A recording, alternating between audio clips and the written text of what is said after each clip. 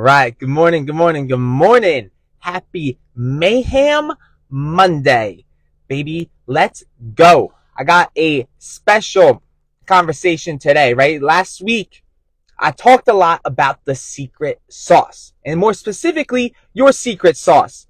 And I thought this week would be a perfect week to now start discussing the recipe, right? So that's what I'm going to be getting into today. That's what I'm going to be getting into this week, right? Really putting together, you know, let's say you find it out, right? Let's say you got your secret sauce, right? How do we start putting that secret sauce into action? And that's what this week's all about. So happy Monday. Let's go.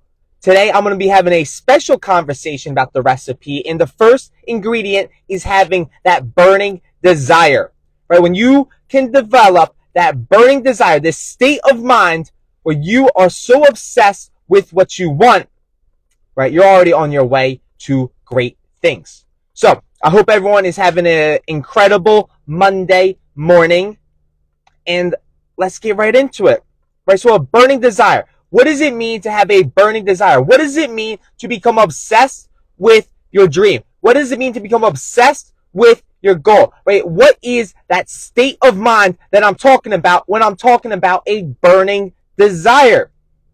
Right? And, and it, you know, it really does start with figuring out, well, what do you really want? Because how can you possibly become obsessed with doing something that you don't truly want? right? Yeah, I get it. You know, we all have these jobs and these jobs seem like they're fantastic jobs. But at the end of the day, is working for the man really what you want? Right? How do you become obsessed? How do you develop that burning desire to get rich?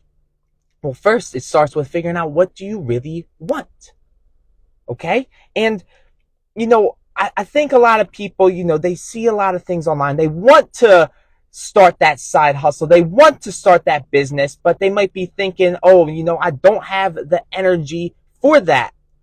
Right? I don't have the energy. Though you'll hear people say, I don't have the energy for that. What the hell do you mean you don't have the energy for that?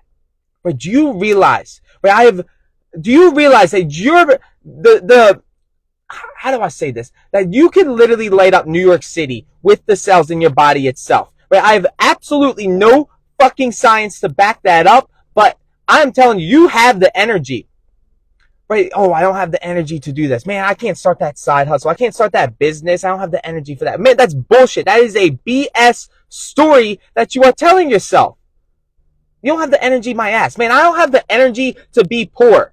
I don't have the energy to be middle class, right? It takes just as much energy to think big as it does to think small. Right? Bob Proctor says if you're going to worry about anything, worry about the fact that you are going to get too rich. Right? So when you develop, when you start to understand this idea of having a burning desire, right? All of a sudden you realize you will find the energy, right? All that stuff about, um, you know, not thinking that you have it in you. No, you have it in you. You will find the energy to do it. You will find the discipline to do it. You just got to figure out, you know, exactly what you want and start developing this burning desire to go out there and get it right? Uh, Napoleon Hill says it in his book, Think and Grow Rich, right? A lot of people will wish for riches. Right? A lot of people, everyone out there is wishing for riches, but few understand that wishing will not bring you riches. Right? He says that riches, when they come, come by definite demands backed by burning desires with continuous persistent action that recognizes no such thing as failure right? It, it starts with the definite major purpose and then having a burning desire to go achieve that purpose. Right? You'll find the energy and, and people might be wondering like, how do you, how do you stay disciplined? How do you stay energized? How do you do this? Right? It's because I started with a burning desire, right? This is the recipe. This is the recipe. I can talk about, you know, what strategy is going to work, what business model is going to work. No, what, what's going to work is, is developing a state of mind first. What's going to work is having that mindset that I'm going to figure it out that I'm going to find a way to get rich. Right? It's, it's, it starts with your state of mind. And when you start focusing from, you know, just getting all the time and, and so on and so forth, and you start focusing on developing this mindset, right? You know, Napoleon Hill, when he wrote Think and Grow Rich, it was, it was to help you start developing this money consciousness. And basically, you know, what a money consciousness is, is like you just become more and more aware of the opportunities all around you of how to earn money. Right? It's all around us, right? Let's face it. The internet has made making money so much more possible than any other time in the world. Right? It doesn't matter what age you are, doesn't matter what race, what religion, what gender you are, you all have the equal chance to make money online. The only thing that we lack is we lack awareness, right? We lack the, the awareness that, you know, there is opportunities out there, right? It's literally right in front of your nose. And, you know, the, the thing is, right, society is so programmed of this consumer cons- uh, society where we're all programmed to just buy things, right? We're programmed to go on Amazon and start ordering things, start buying things online, start buying what we think will bring us happiness, right? Everyone is so programmed for consumerism but then all of a sudden, when you can flip the switch and start changing your state of mind to becoming a master salesman, to becoming a professional salesman, you start realizing, man, if 95% of the world is so focused on consuming, then what can I start selling to them? And that's what's fantastic about it, right? Especially with e-commerce, right? You got to realize it is, it is like if everyone is so obsessed with, with buying on Amazon, right? How can I get on the other side of the coin and start selling on Amazon? How can I start selling to these people's addictions to like religiously buying online? Right? It's about developing this money consciousness. And, and in order to do so, you have to start by first developing a burning desire for more. Right? A burning desire for more of what you want and less of what you don't. Hello, lady boss. Right? It all starts with a burning desire. That's the first ingredient in the recipe. Right? Because the only thing that we are currently lacking is awareness. And in order to start achieving more awareness, we need to have a desire to achieve that more awareness, right? It starts with wanting a desire for more of what you want. And that is absolutely critical, right? Becoming obsessed with what you want, figuring out, you know, what is the life that you want to live, right? What is the life for you and your family that you want to live. That's where it really starts. And getting crystal clear on that, getting crystal clear on what do you really want, becoming obsessed with it, right? It's, the answer is out there. The answer is out there. We're just simply not asking the right questions. We're not asking the right questions. We don't yet have, like Lady Boss Nikki says, we don't yet have our definite major purpose. And once you get crystal clear about your definite major purpose, once you start really working on this idea of what do I truly want, all of a sudden, you know, your reticular activating system will start working. Right? We have to realize we have one of the greatest mechanisms in between our two ears, and that is our brain and we have the ability, but we are given this gift of our incredible brain and we can absolutely find the answers to anything that we want. We just have to start asking ourselves the right questions. And in order to start asking the right questions, we have to start with that burning desire for more because that burning desire is going to change our state of mind, which is going to change the way that we look at things, which is going to change the questions that we ask ourselves, right? It starts with the state of mind right? It's not about the strategy. There's so many strategies out there. There's so many different ways for you to have more of what you want, right? But, you know, not, none of them are going to work unless you start with yourself first, right? Start working on yourself first. Start working on, you know, who am I? What am I really about? What are my values? What is most important to me? Right? And when you get those in order, then all of a sudden, you know, the right strategy will show up for you. And for many people, right, they just simply don't have their values in order. And that comes first and foremost.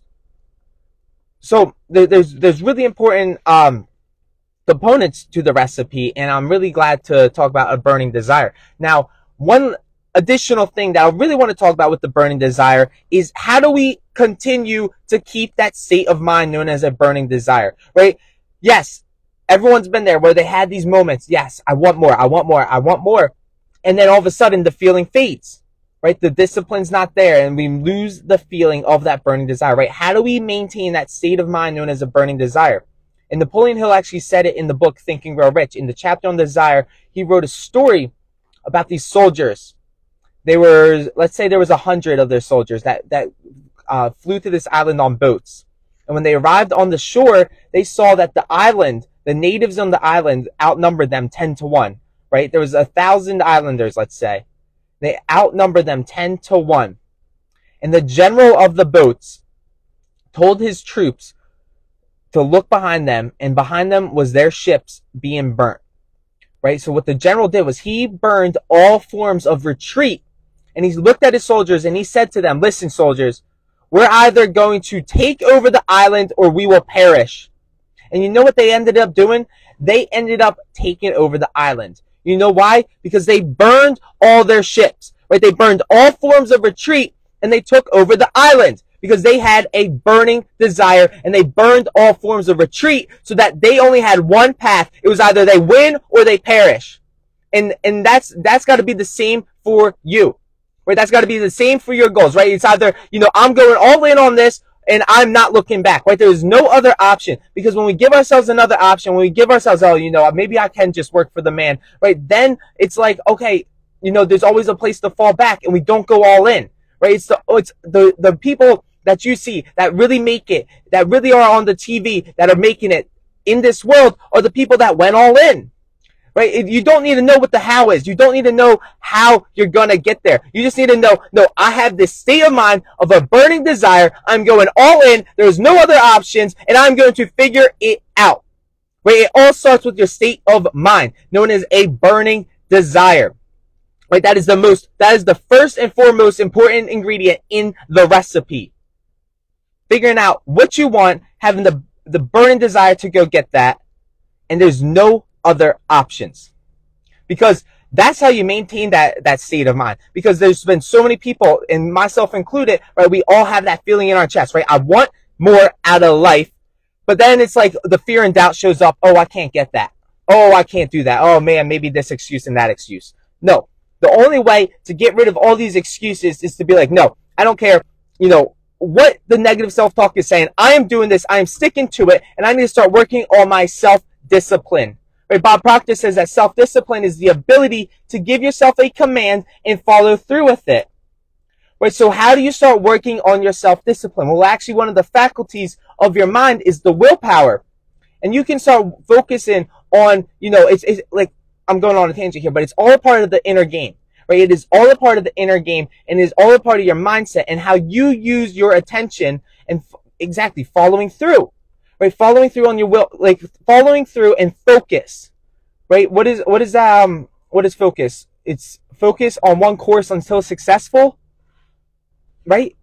So what I'm saying, right? The self-discipline, right? And, and you know, it, it's gonna take you to acquire some, some successful habits, right? One of the things that has really helped me out in my life personally was developing the little habits, right? It's the little things that add up to the big things, right? Waking up at 5 a.m. every morning has helped me in so many ways get to the bigger fish in the, in the later in the life because, you know, the, the little wins show you that you can do it. You start getting that positive feedback, that positive momentum going.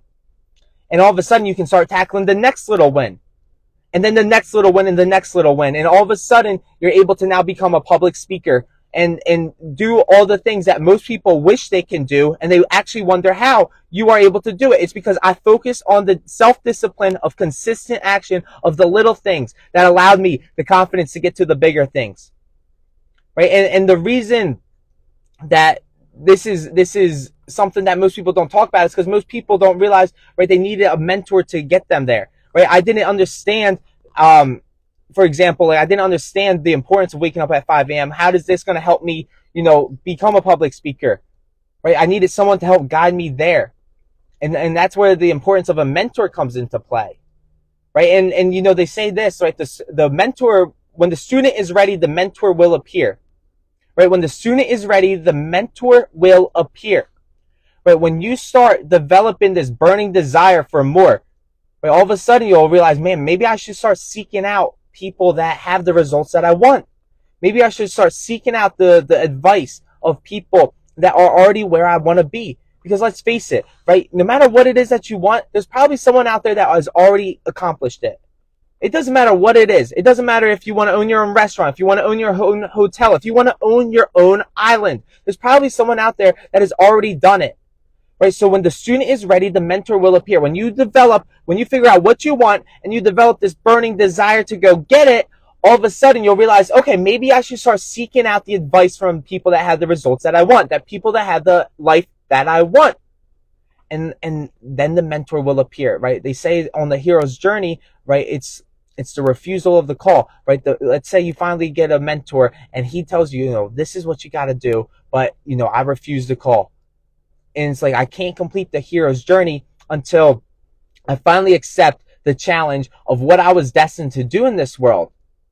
And, and when I finally have the guts to be like, you know what, I don't know how I'm going to get that, but I know that I have this state of mind that is backed with my definite major purpose and I have a burning desire for that purpose and I've burned all the ships behind me so there's no going back, right? That's how you keep it going. That's how you start finally accepting the call, the call on your hero's journey and then you start going. And you're going to figure it out on your way right? There's no such thing as I don't have enough energy for that. You have absolutely all the abundant energy in the world to go achieve it. You just haven't accessed it yet because you didn't yet have a burning desire to go get it. And where am I going with this? Right?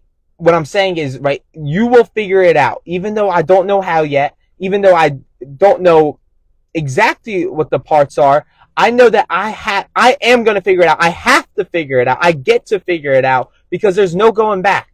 There's no going back to the old way, right? I'm in the frontier right now and there's no going back. And I just know that, you know, whatever comes my way, whatever comes my way, I will end up figuring it out.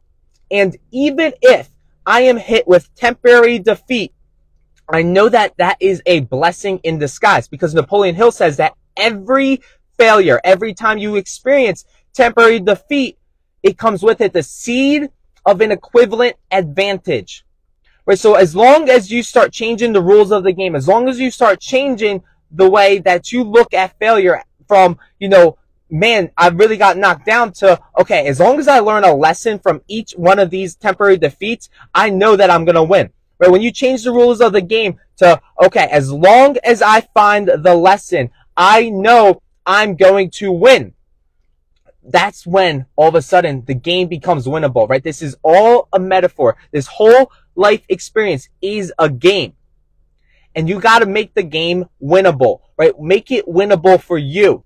And the way that you make it winnable is you start changing the rules of the game, right? The fact that you woke up this morning and your two feet hit the ground this morning meant that you won the game of, of life last night. That meant that you won the game and you were able to wake up and live and enjoy today already. Right? So you make the game winnable. And then when you start looking at life like a game, right, it changes it. Because what kind of game is fun without the challenges, without the obstacles, without the, the boss levels?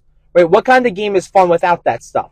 Right? And you start changing the way that you look at each situation in life to become, okay, you know, I'm at this level, right? New levels, new devils, right? I'm, I'm facing this challenge, but you know what? It's part of the game, right? When I, when I start looking at life like that, I absolutely love life, right? My life is, is so much more fun when I'm looking at it like that. Oh, why, instead of me saying, oh, why has this happened to me? Or why, does this have to happen? Oh man, why can't I? Blah blah blah. Right? None of that is gonna gonna help me. But We got to start looking at life in a way that's gonna help you actually truly feel fulfilled and enjoy life and live it up to the fullest because you know you deserve that.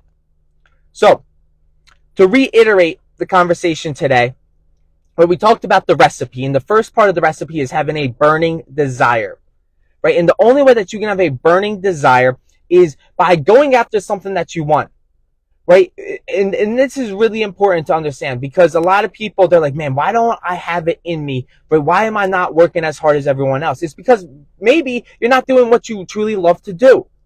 And then it comes to the idea of, of really getting clear. Okay, what do I truly love? Because when you truly, when you are truly doing something that you love to do, right? The, it, it's just natural, right? The energy is there, like it, it, feels all natural to you. So, so that's the importance of having a burning desire. And then more importantly, right? We got to start focusing on the discipline to maintain that state of mind known as a burning desire. And there's one specific way that Napoleon Hill mentions to do that, and that's to burn all the ships of retreat. Or when you burn all the ships of retreat, there's no other way. It's either you are going to do this. There's, there's no other option. There's no or. And, and that's where you are like, okay, you know what? As long as I am definite about my purpose and I have a burning desire to achieve it, I know that I am going there. And with that being said, you're already on your way too. So I want to thank you all for watching. Thank you, Lady Boss Nikki, for being here. And I will see you all tomorrow, same time, same channel. And we are going to continue on the conversation of the recipe. So I love you all, and I'll uh, see you soon. Bye for now.